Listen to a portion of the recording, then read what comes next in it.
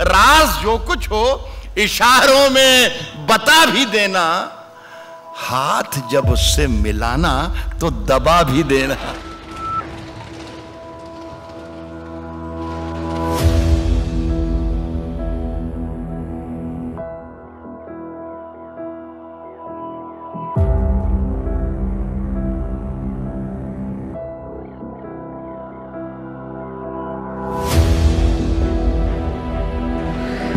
मैं प्रणति सुशील कुमार शिंदे जो लोकसभा की सदस्य निर्वाचित हुई हूँ ईश्वर की शपथ लेती हूँ। पहले उसका जवाब दो। सवाल क्या है भाई?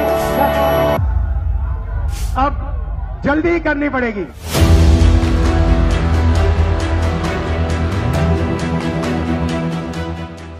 नमस्कार। एंटीक वायरल की यूट्यूब मंच पर आपका स्वागत है। काफ़ी दिनों से सोशल मीडिया पर चर्चा चल रही है कि राहुल गांधी आखिर शादी कब करेंगे? प्रियंका गांधी ने तो चुनावी मंच से ही एक कार्यकर्ता के सवाल का जवाब देने के लिए राहुल गांधी से कहा। कार्यकर्ता ने पूछा था कि आप शादी कब करोगे? तब राहुल गांधी ने कहा कि लगता है अब जल्दी ही शादी करनी पड़ेगी। पहले उसका जवाब दो। सवाल क्या है भाई? क्या सवाल है? अब जल्दी ही करनी पड़ेगी। आपको क्या लगता है कि राहुल गांधी ने मज़ाक में कहा था? नहीं उनका लहजा भले ही मजाकिया था लेकिन बात गंभीर थी। राहुल गांधी की शादी को लेकर उनके घर में भी चर्चा शुरू हो गई है और ये तय हो चुका है कि वो शादी करेंगे। लेकिन कौन है वो लड़की जिससे राहुल गांधी शादी करने जा रहे हैं? आज के वीडियो में हम उसी दुल्हन के बारे में चर्चा करेंगे।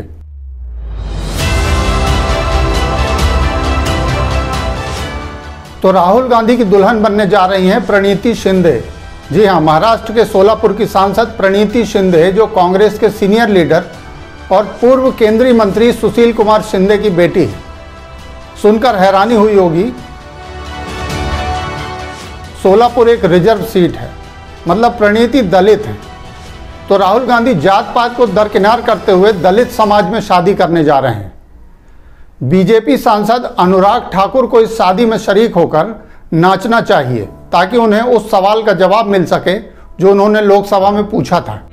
जिसकी जात का पता नहीं, वो गन्ना की बात करता है। इस साल नवंबर में संभावना है कि राहुल और प्रणीति की शादी हो जाएगी। राहुल और प्रणीति की शादी को लेकर सोशल मीडिया में चर्चा शुरू हुए, बहुत दिन नहीं हुए। बल्कि ये चर्चा उस दिन से शुरू हुई जब नवनिर्वाचित सांसद लोकसभा में शपथ ले रहे थे। प्रणीति जब शपथ लेने के लिए आगे बढ़ी तो राहुल ने हाथ मिलाने के लिए अपना हाथ उनकी तरफ़ बढ़ा दिया। इस वीडियो की सोशल मीडिया पर काफ़ी चर्चा है। किसी को नहीं मालूम था कि यह हाथ मिलाने का मसला सियासत से जुड़ा नहीं था। देखा गया है कि राहुल और प्रणीति की नज़दीकियाँ काफ़ी बढ़ चुकी हैं। भारत जोड़ो यात्रा और न्याय यात्रा के दौरान भी आपने दोनों को साथ देखा होगा। प्रणीति अपने एक्स हैंडल पर राहुल गांधी को अक्सर बॉस कहकर संबोधित करती हैं। लेकिन फिर एक सवाल लोगों के जहन में आया कि राहुल गांधी की उम्र 1970 के हिसाब से चौवन साल और प्रणीति की उम्र 1980 के हिसाब से 44 साल। मतलब दोनों के बीच 10 साल का फ़र्क है। मेच्योरिटी के हिसाब से तो ये फ़र्क ज़्यादा नहीं है, पर सोचिए कि राहुल गांधी प्रणीति से शादी करते हैं तो इससे उन्हें जितने व्यक्तिगत फ़ायदे होंगे, उससे कहीं ज़्यादा राजनीतिक फ़ायदे होने वाले हैं। भारत में जाति की राजनीति और धर्म की राजनीति ये कभी ख़त्म होने वाली नहीं है। और बाय चांस प्रणीति ऐसे समाज से आती हैं जो भारत की राजनीति का एक अहम हिस्सा है।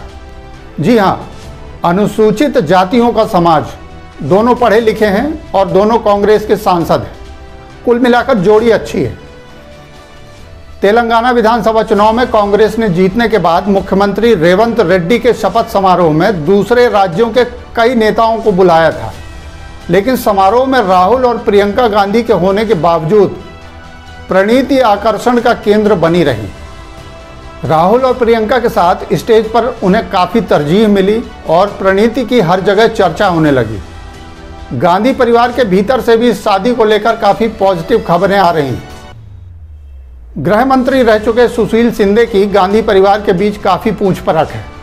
शिंदे ऐसे नेताओं में से हैं जिन्होंने कांग्रेस के सबसे कठिन समय में भी पार्टी का साथ नहीं छोड़ा। इसलिए सोनिया गांधी प्रणीत को लेकर कंफर्टेबल है। प्रियंका गांधी भी प्रणीति को पसंद करती हैं। वैसे भी गांधी परिवार में जातियों का कोई बंधन नहीं है। इस परिवार में कोई ब्राह्मण था तो कोई पारसी तो कोई क्रिश्चियन। लेकिन परिवार का गांधी सरनेम ऐसा है जो आज़ादी से लेकर आज तक फ्रीडम मूवमेंट को रिप्रेजेंट करता है।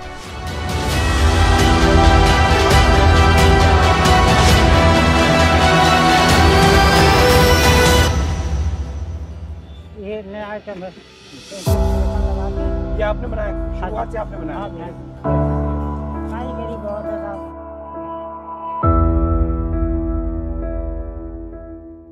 राहुल और प्रणीति पर आपका क्या ख्याल है? कमेंट बॉक्स में ज़रूर लिखें।